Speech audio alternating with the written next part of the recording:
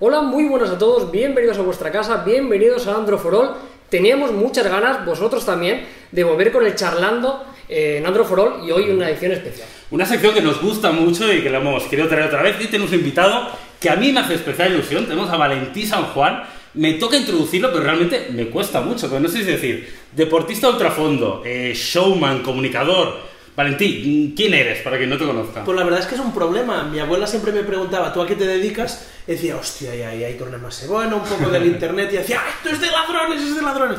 Bueno, eh, es complicado. Yo creo que comunicador o que al final yo soy periodista, ¿no? Y alguien que a través del periodismo y de comunicar, a veces lo ha hecho en la radio, a veces en la tele, a veces en redes sociales y a veces vinculado al humor, a veces al deporte o a veces a otras cosas. Así que para mí lo que me gusta es hacer cosas y comunicarlas y en función del momento vital en el que esté, pues, pues lo hago por un lado o por otro. Hace, hace, perdón, Carlos, hace poquito publicaste un vídeo en el que te saliste un poco de lo que haces habitualmente y hablaste de dos smartphones. ¿no? Entonces Sí. nosotros ahí hicimos Sí, un comentario, a partir de ahí surgió esta colaboración y la primera pregunta va un poco encaminada hacia eso. ¿Cuál es tu historia en los smartphones? ¿Cuáles has tenido? ¿Hacia dónde? ¿Cuál usas actualmente? A ver, yo he sido muy aburrido en esto y, y, de hecho he cambiado de línea casi por casualidad, no por, por motivación propia, pero estoy muy contento de haberlo hecho. Yo llevo desde que salió el primer iPhone, que no había salido aquí, había salido en Estados Unidos. Esto es, peli- esto es y- peligroso aquí, Valentín, me cago Ya lo sé, lo sé, lo sé. Lo sé, pero, pero tengo una historia de redención. Vale, bien, Eso, bien. y el hijo Eso- pródigo. eso te disculpa un y poquito, claro, ¿eh? claro. Pero tardé, ¿eh? Tardé en ser hijo pródigo.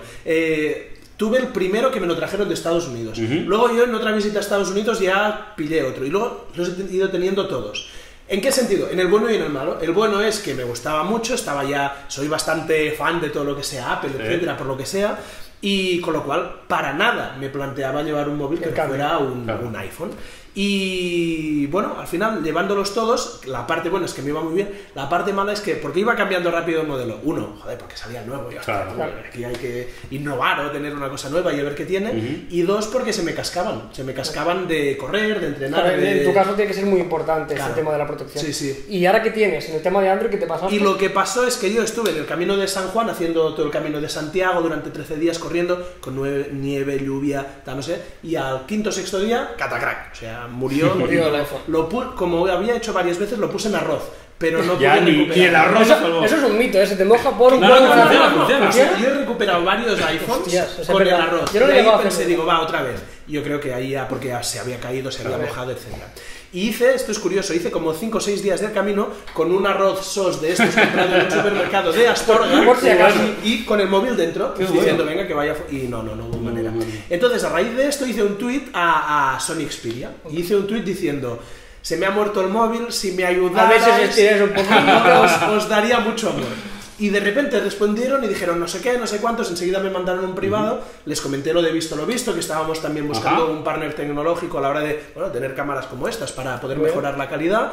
Y de repente entró un partner chulo. Entonces me mandaron este, el, el Z1, El que Z1. como veis... Lo tienes es- trilladito, ¿eh? Está Lo tienes trillado, o sea, está... Pero es que muy- con tu ritmo de vida, Valentí, es difícil que un móvil no acabe un poco trillado. ¿eh? Pero lo bueno de que os iba a decir de que esté trillado es que, como veis, las rascadas tienen relieve. Sí, bastante. Pero aún así, con las hostias que le he dado, con las Sigue que pues funciona perfectamente. En cuanto al sistema operativo, eh, quieres un amante de iPhone de toda la vida y, y de golpe un día pasar un Z1, ¿notaste mucho cambio? ¿Cuáles son las cosas que, que echas de menos de iPhone? Eh, ¿Qué cosas has dicho? Hostia, esto Mira, me gustaría de verlo. Noté dos cambios, eh, pero que son muy simples. ¿eh? El primero es que la novedad, ¿no? que estás acostumbrado a ajustes y ya vas a aquí parámet- parámetros. eso, los primeros días estás un poco así.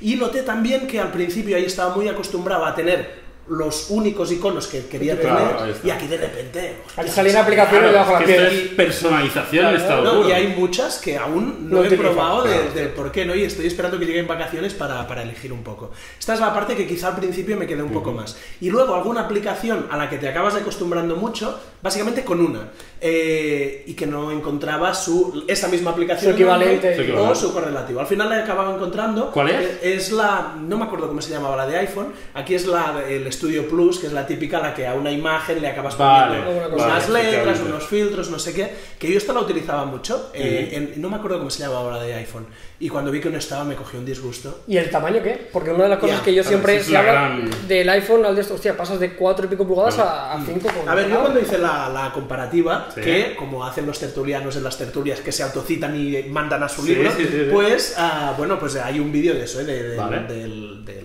¿cómo cómo se llama, del iPhone eh, en relación Lo dejaremos, lo dejaremos en Lo la descripción Ahí está, ahí está, todo el mundo lo pueda Entonces, ver. claro, de repente el iPhone vendría a ser Sí, más sí, o menos claro. así, ¿no? Y yo lo primero que pensé es, claro, yo lo llevo en la mano para correr. Y entonces pensé, ostras, para correr y tal. ¿Qué pasa? Yo a la hora de correr llevo esto, llevo la GoPro, o llevo la Action Cam, Hostia. o llevo el palo.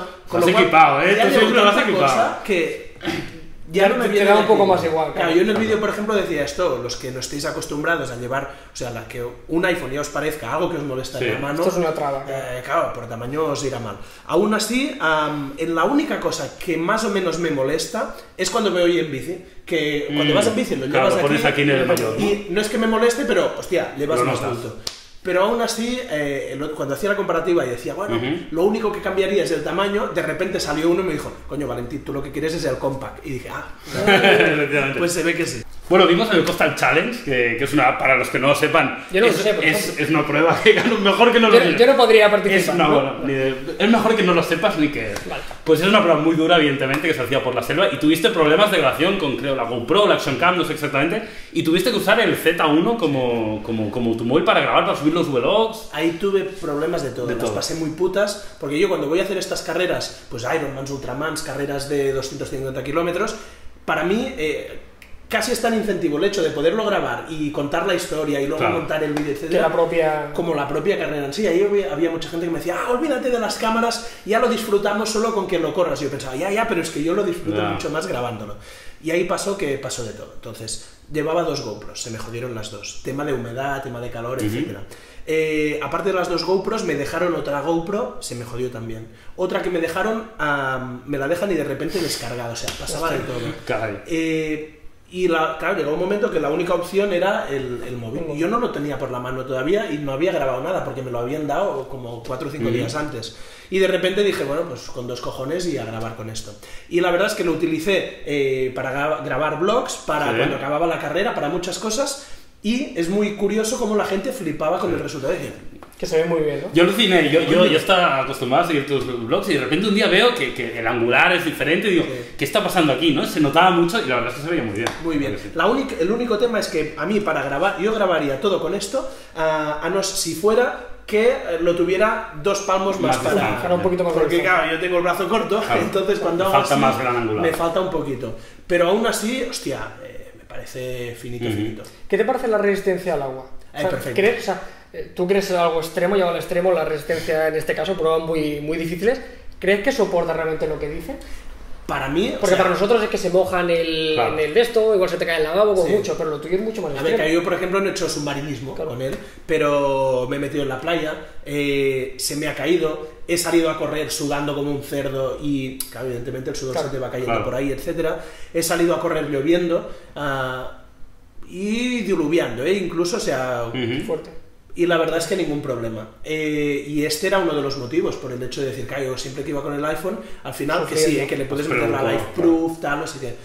Pero, coño, eh, es llevarle más cosas que no llevas normalmente y tienes que meterles aquí, pues ya lo tienes dentro del pack. podríamos decir que quizás es un imprescindible. O sea, ahora no te plantarías una compra de un No, móvil si no, no, tuviera no, resistencia. Eh, No, no, no, para nada, para nada. Bueno, hemos hablado un poquito de hardware, hemos hablado de smartphones, ahora yo creo que toca, es el turno de hablar un poquito de aplicaciones, que es algo también muy importante, ¿no? Y también en el último charlando le preguntamos a Rob, Sí. me acuerdo, sobre sus aplicaciones imprescindibles, aquellas sin las que no puedes vivir, ¿cuáles son para ti? Dos, tres, cuatro Es que yo soy muy básico y muy sencillo en cuanto a mi día a día. Eh, una es Strava, o sea, la aplicación para medir los kilómetros a la hora de correr Vale. y tal. Aquí hay muchas aplicaciones, ¿eh? Y todo el mundo... Eso "No, es otra pregunta, ¿eh? Pero... Me, me van mejor estas, Es- es jaleo. Pero, pero para mí esta, Vale. eh, bueno, la mayoría de las que son gratuitas y llevan un tiempo te ofrecen lo que te hace falta, que es la distancia, las calorías, eh, tal. O sea, tampoco eres muy exquisito, no necesitas No, eh, algo no, no, porque a mí al final, con saber el ritmo que has hecho y la distancia y que más o menos te haga el de esto y que tenga una parte de red social donde quien quiera seguir y pueda seguir y tal, Suficiente. suficiente. Entonces, para esto Strava.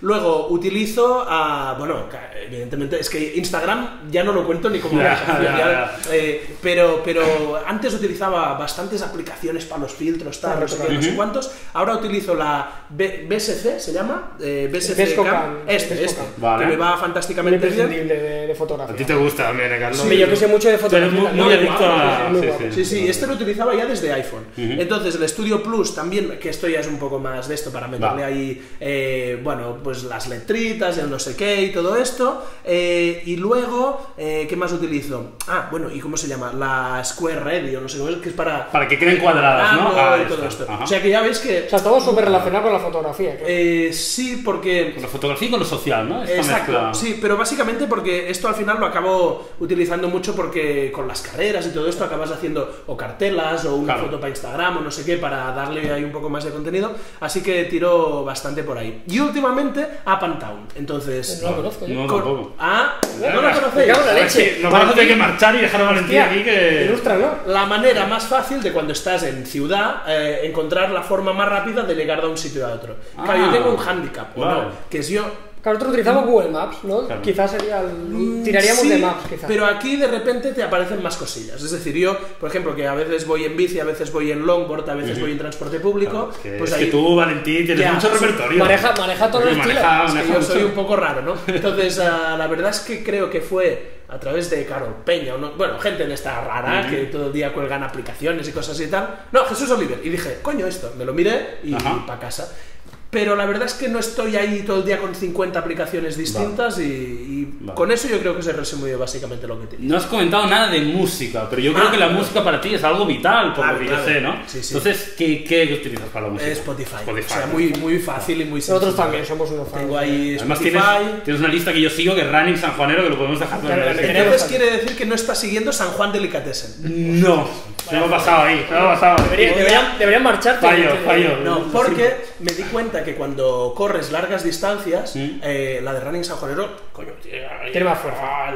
Y está muy bien, pero está muy bien para correr un, un entreno de 20, una Claro. maratón, un tal. Pero me daba cuenta que cuando hacía una carrera de estas, que igual un día estaba corriendo 12 horas, iba, joder, como si te tomas 15 Pitoso, cafés claro. y vale, para allá de Red Bull, ¿no? Entonces ahí pues dije, ostras, una que sea como más calmada para ir a ritmos más Vale. bajos y tal. Y es una lista que a mí me mola para estudiar, para trabajar para, y Vale. para correr en... Tomo nota, ¿eh? Me me voy a, la voy a seguir. Venga, venga, hecho, Y hecho. para redes sociales, porque Twitter también es una parte muy importante. Tiras de cliente de Twitter, te da Sí. por probar algunos. No, la verdad es que ah, en eso soy muy convencional. Sí que es verdad que hace tiempo, bueno, cuando al principio, ¿no? Eh, Cuando empezó, ay, está esta aplicación, Sale, esta otra, etcétera. Ujú. Pero para lo que necesito, Cumple yo creo que me. Sí, que la tengo.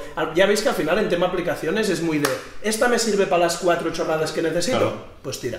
Bueno, oye, y yo creo ya para ir cerrando un poquito el tema, hemos hablado de smartphones, hemos hablado de aplicaciones, vamos a hablar de algo que se está poniendo muy de moda y no sé si a ti te ha llegado todavía o qué piensas sobre eh, los wearables, todo aquello que nos vestimos, sobre todo, están todos muy relacionados con cosas deportivas, algunos miden frecuencia cardíaca, miden un poco nuestra actividad física, no sé si te ha llegado, si estás al día, qué piensas. Me ha llegado y no tengo ni puta idea. He visto a gente que los lleva, incluso amigos, de, por ejemplo, Joseph, me acuerdo que Sí. uno de los primeros en ver la pulsera de Nike, creo que era, la la Full Band. Y, y estaban encantados. Y ahí en el club de repente empecé a ver gente y todo el día y lo compartían. Incluso creo haber visto a Risto compartiendo cosas con la Full Band o cosas así. Y decir, hostia, esto va a petar, va a petar, va a petar. Y de repente cuando iba ahí, eh, creo que se quedó un poco... Y no lo sé, la verdad es que ah, ahora igual me diréis, no, es que esto ya existe, pero yo creo que no utilizaré algo así hasta que haya alguna cosa que me sirva para eh, mm, olvidarme de algunas cosas que hago Ajá. con el teléfono y algunas cosas que ahora hago con el típico Vale. eh, reloj que me sirve Exacto. para GPS, tal, no sé Ya, ya se empiezan a Poco a encontrar- poco, se poco está, a poco se está acabando de, de depurar un poco el concepto, pero yo creo que todo apunta a eso, ¿no? De unificar Claro. el concepto de medidor, el concepto de reloj, el concepto de notificaciones del smartphone Claro. y luego el concepto más deportivo y que todo Sí. acabe juntando. Sí, por ejemplo, ahora eh, tengo que acostumbrarme al mando a distancia del Action Cam. Claro. Que, claro, lo tiene hostia, esto. es un pedazo de mando, pero te sirve como para tener cinco Action Cams y desde Y ahí gestionar realizar, encender, ponerte a grabar y tal. Pero, claro, esto ya es uno. Dos, reloj normal, que no llevo nunca. ya Al final- al final iríamos con la muñeca llena de-. Así que yo creo que daré el paso, o bien el día que haya alguno que realmente vea Que te una enamore. prescripción tan heavy que diga, coño, tienes que probarlo, o el día que, que coja dos o tres cosas de distintos sitios y diga, ah, coño, es que con esto me ahorro llevar el Claro. teléfono para hacer Es esto, para lo otro. para- Bueno, lo mejor será que le pasemos los vídeos que hemos hecho de los wearables. Claro que sí, Tenemos claro. una lista de Venga, reproducción claro sí. muy maja con Hecho. todo lo que hemos analizado y tú le pegas un vistazo. Prometo verlo. Y ya está. Así que nada, oye, yo creo que con esto lo podemos cerrar. Hemos hecho una pequeña charla, coloquio y volveremos con más charlando, Hombre. ¿eh? O sea, aquí invitados no van a faltar. No sé si podemos mantener el nivel porque Valentín, la verdad es que nos ha hecho mucha ilusión que venga. Y os dejaremos, eso sí, su canal para los, si hay algún despistado que no lo conozca, pues evidentemente que lo pueda ver y si le apetece, pues suscribirse. Y ahora, como siempre, si le das al like, si le das a suscribir y muchísimas gracias, Valentín. A vosotros. Todo, todo un placer. Gracias, hasta luego. Venga, hasta luego. Chao.